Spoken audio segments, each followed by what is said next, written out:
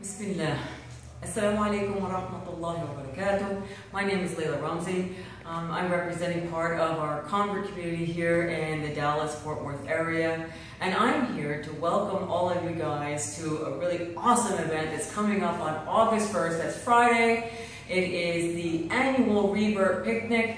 It is being put on by Y Islam, which is an outreach program of the ICNA Dallas organization. So I really encourage you all to come out. There's going to be food, there's going to be bounce houses and lots of stuff for the kids to do. And a time for not just the converts to get together, but also the entire Muslim community to get, to get together and get in touch with each other.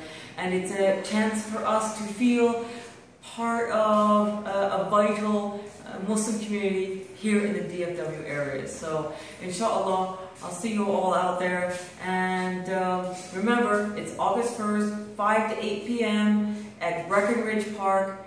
And everyone is welcome to attend. Uh, converts, families, friends, anybody from the Muslim community. So please do try to make it. Wassalamu alaikum.